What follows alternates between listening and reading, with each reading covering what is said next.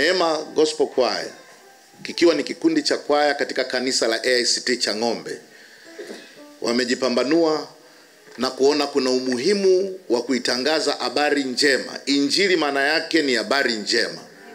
Leo hii ni habari njema kwa watoto hawa ambao wamekuwa wakipata shida ya usafiri kuelekea shuleni, kwenda kwenye ibada na kwenda sehemu mbalimbali ambazo wanapaswa kufika kwa usalama zaidi.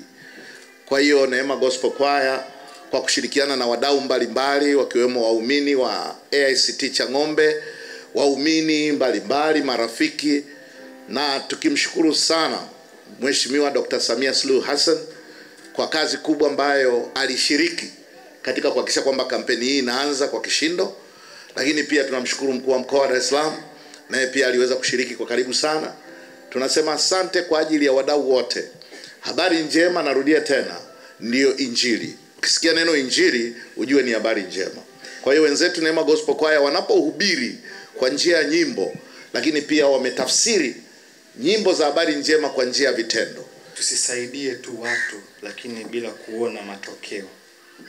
Kwa hiyo katika kuona matokeo tuliona tuchague kituo cha Real Life International Ministries Orphanage ambacho wengi wanaweza kudhani, wengi wanaweza kuona kwamba au kufikiri tunaweza kufata namba kubwa, lakini na kutoa msaada wa mara moja ambao kwa wakati mwingine unaweza kuwa usiwe tija sana kwa muda mrefu.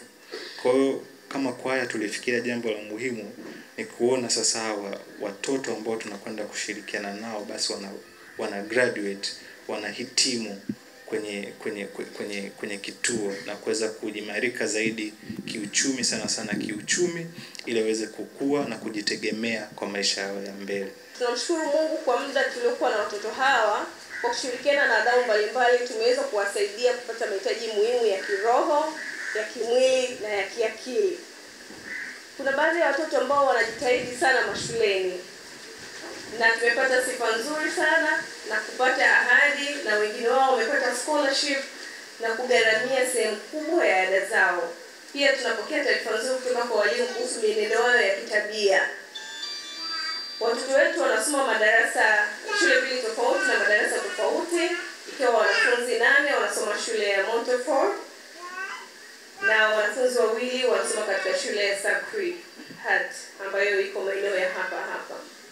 Mafanikio mengi ni pamoja na kuhakikisha watoto wetu wana bima za matibabu pale wanapohitaji. Pia tunajitahidi kuweka mazingira salama kwa watoto pamoja na kutoa huduma za chakula, mavazi na usafiri hasa wakati wa kwenda mashuleni. Mungu awabariki kwa wote walioshiriki kuitoa baraji hii. Malaika wake walinzi awe pamoja nao. taasisi nyingine ambazo wanaona hivi sasa mnawaambia nini ili kuweza kuwasaidia kuwapatia? Tunawashukuru, tunawaambia waendelee kuwa na moyo huu huu wa kuendelea kuwasaidia, kwa sababu bado tunahitaji msaada wenu. Mungu akawabariki. Amina.